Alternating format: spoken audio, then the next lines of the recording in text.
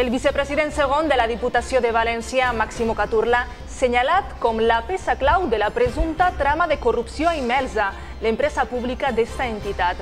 La Fiscalia Anticorrupció i la Unitat Central Operativa de la Guàrdia Civil ja investiguen el cas. Estoy a bordo, estoy a bordo, estamos bajando, estamos bajando arriando el bote. Veurem com van viure els passatgers del Sorrento el moment del rescat. Nervis, descontrol i desesperació entre les 156 persones a bord del ferri incendiat este dimarts i que navegava rumb a València. Comença el compte enrere per a les eleccions i les càmeres de TV4 han eixit al carrer per conèixer què saben els veïns dels partits polítics que opten a la Generalitat. Avui preguntem per UPyD. Què saben vostès d'esta formació? ¿Qué es UPyD? Eh, Unión eh, Progreso y Democracia. UPyD, eh, creo que es un partido político, ¿no? Es un partido político. El candidat socialista a la Generalitat, Ximo Puig, es reuneix amb la direcció de la Federació de Serveis Públics d'UGT per fer un balanç de la situació actual de l'administració pública valenciana. Esta és la seva proposta. Vamos a reprofesionalizar la administración pública valenciana.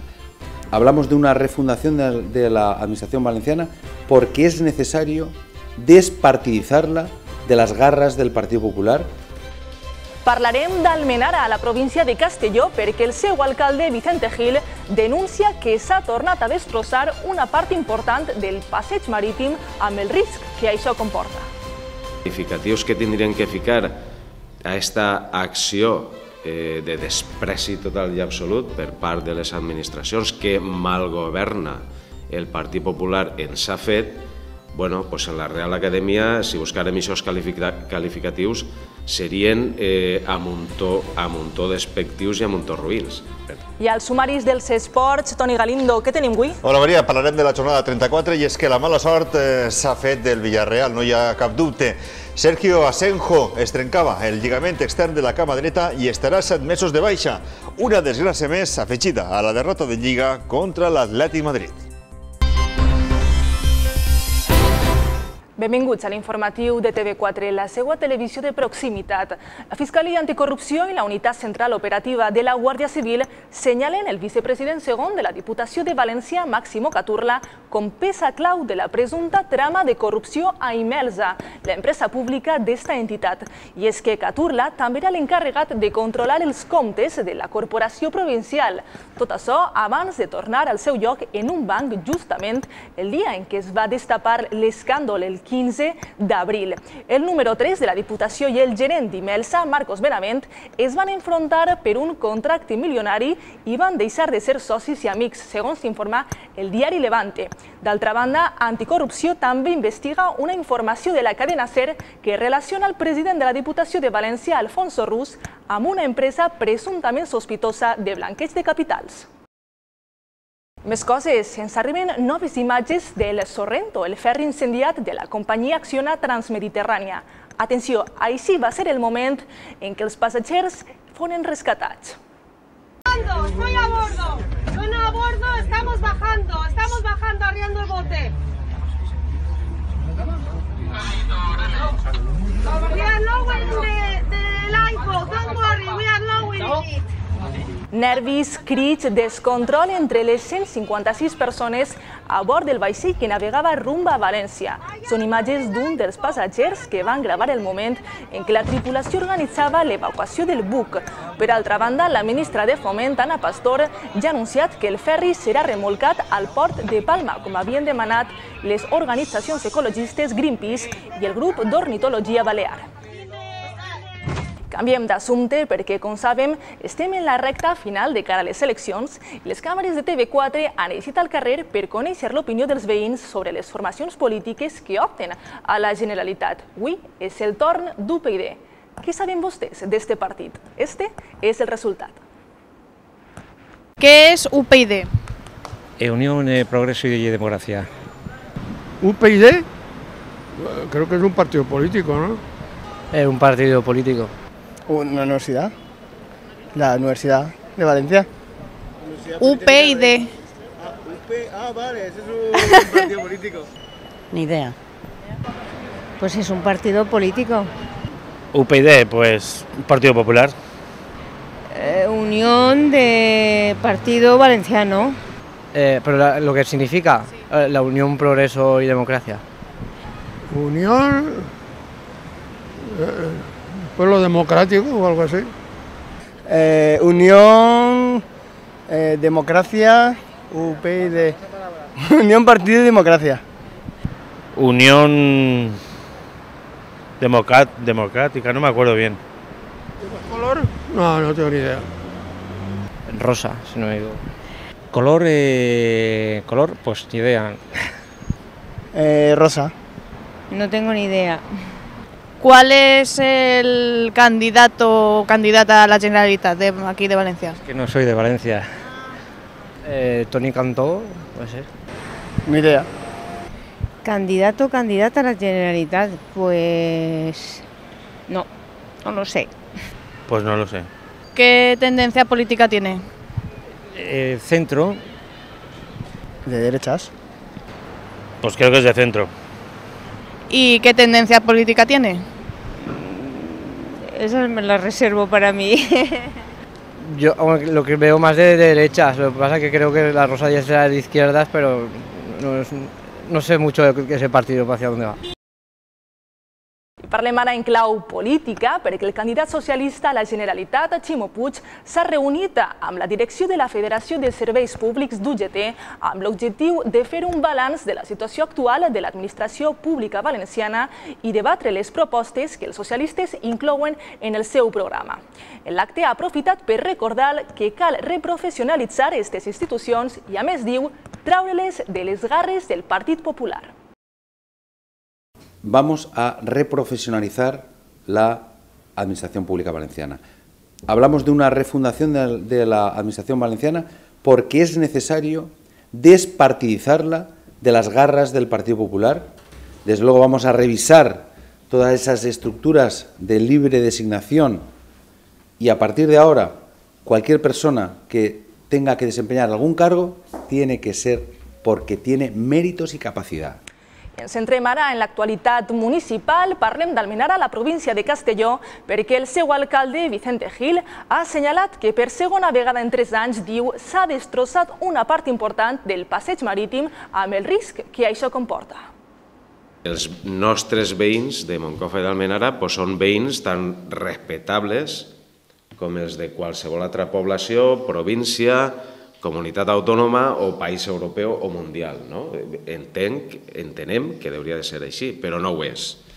Per tant, els qualificatius que tindrien que ficar a aquesta acció eh, de despreci total i absolut per part de les administracions que malgoverna el Partit Popular ens ha fet, bueno, pues en la Real Acadèmia, si buscarem aquests qualifica qualificatius, serien eh, a muntó, a muntó despectius i a muntó ruïns. I d'Almenara ens traslladem a les Alqueries, també a Castelló, perquè allí s'ha celebrat la jornada sobre agricultura organitzada pel Partit Socialista, un acte on participaren la seva candidata a l'alcaldia, Esther Lara, el secretari de Mundo Rural, Ramon Martínez, el secretari d'Agricultura, Francisco Rodríguez, i el tècnic cítric, Ferran Gregori. El futur de la citricultura valenciana passa per una decisió que estic que prendre en un país on no es fan taronges. Curiosament, no és una decisió tècnica ni és una decisió agronòmica, sinó és una decisió judicial. Los errores y los aciertos, que seguro que han sido muchos, y errores que también han sido muchos, hay que sacarlos en exclusiva al Partido Popular, que es quien ha gobernado. De manera que cualquier cuestión que podamos analizar, buena o mala, hay que ponerle nombres y apellidos. Es el Partido Popular que durante 20 años ha gobernado. Associacions de veïns del Baix Maestrat demanen per a Vinaròs la tercera unitat oncològica. El Baix Maestrat està carregat de raó per tal d'exigir el que seria un tracte igualitari davant els malalts de càncer, l'enfermetat més cruel que per ell mateix ha d'estar resposta amb eficàcia i eficiència. I no és l'única mancança per als valencians del nord, tan deixats de la mà de Déu, és a dir, l'administració pública i aprofite la vinantesa per reclamar també que el tren de Rodalies de València a Castelló arribi quan antes a Vinaròs. Després es queixen de que els valencians del nord estiguen pancatalanistes. Anem amb la informació dels esports. Toni Galindo, derrota del Villarreal i un nou lesionat. Efectivament, Maria, podíem dir eh, que al Villarreal definitivament li han tirat mal d'ull. Este dimecres perdia contra l'Atlètic Madrid, octau duel de Lliga, on no suma els 3 punts. Va fer mèrits per a poder endur-se'ls, però este equip està negat de cara al gol. I ho van intentar, accions clares del submarí fins a 4. Van posar a prova les virtuts del portero Black. En el minut 73, Fernando Torres va trencar la cintura a mitja defensa i marcava l'únic gol en un partit on l'única cosa que pogué alegrar al Villarreal va ser la derrota del Málaga y mantindre el Matalàs de 6 punts. Sí, la verdad que estamos con muy mala suerte. Tenemos mucha gente lesionada, no nos llega el gol, y, pero estamos jugando bien, que es lo importante. Estamos jugando bien y ya la suerte va a venir. Es una pena porque el equipo ha hecho un gran partido contra un rival muy difícil, pero, pero bueno, parece ser que, que no ganamos a nadie. Entonces, pues nada, a mirar el partido siguiente, a intentarle ganar al Depor y a intentar conseguir los tres puntos que de una vez por todas creo que nos lo merecemos. Però anem al minut 84, el súmum de la desgràcia. Arribar en esta acció on Asenjo, al caure, es va trencar el lligament creuat anterior de la cama dreta i estarà uns 7 mesos de baixa. Juan Carlos va ocupar el seu lloc a la porteria. Fins i tot el tècnic de l'Atleti Madrid, Diego Pablo Simeone, li donà ànims quan es retirava. Dissabte, el Villarreal visitarà Riazor per enfrontar-se al Deportivo de la Coruña. Més coses. No cal dir que un dels principals atractius en esta recta final està sent la lluita per la tercera plaça. Atlètic Madrid, València i Sevilla estan aportant tota l'emoció. Quedan partidos complicados, sabemos que Sevilla y Valencia también tienen partidos complicados, pero, pero bueno, se ha celebrado como lo que es, como un pasito más cerca, falta de cuatro partidos, todo parece que, que está más cerca, pero, pero bueno, eh, sábado tenemos otros tres puntos igual de, de importantes y a seguir esperando que los demás se dejen algún punto. Canviem d'equip, el Llevant encetarà este divendres contra la Real Societat la jornada 35 amb un ànim ben diferent. De veure difícil la salvació a tindre un matalàs de 6 punts i tot gràcies a la victòria per 1 a 0 contra el Córdoba. Nos acercamos al objetivo que, que era fundamental ganar hoy y, y, bueno pues ahora afrontamos los últimos cuatro partidos de liga pues con la, esa tranquilidad necesaria para, para saber que, que, bueno pues que igual que con otra victoria más pues ya sería definitivo pero hasta ahora hay que también ver los resultados de los demás equipos y, y bueno y luego hacer cuentas. Per al tècnic, per a Lucas Alcaraz, una de les claus d'esta remuntada és el compromís i la unió dels seus jugadors. Creo que, que el vestuario tiene, tiene un grupo humano espectacular. Distinto es que luego lleguemos o no lleguemos a, en los partidos a, conseguir las cosas. Lo mejor del grupo es que este grupo ha salido de, de un mes de febrero en el que las expectativas no eran nada halagüeñas. Deixem el futbol, parlem d'handbol. El Fertiberia Port Sagunt certificava la seva permanència en la Lliga Asobal, tot i perdre de manera contundent contra la banca de Mar León per 40 a 27.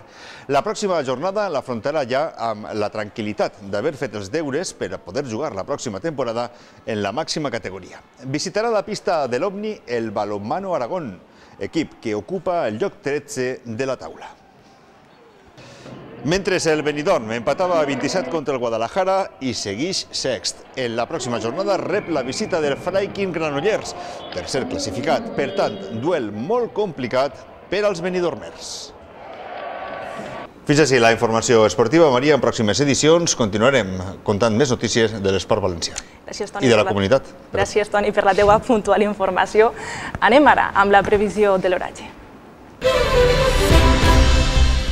Segons indica la previsió de l'Agència Estatal de Meteorologia, divendres tindrem intervals nuvolosos a tota la comunitat.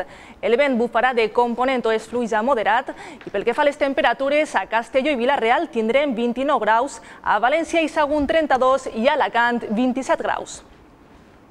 I fins així l'informatiu d'avui ha sigut un plaer informar-los durant tota la setmana, repassant, com saben, tota l'actualitat dels nostres municipis. Res més, gràcies. Tornem dilluns. Thank you.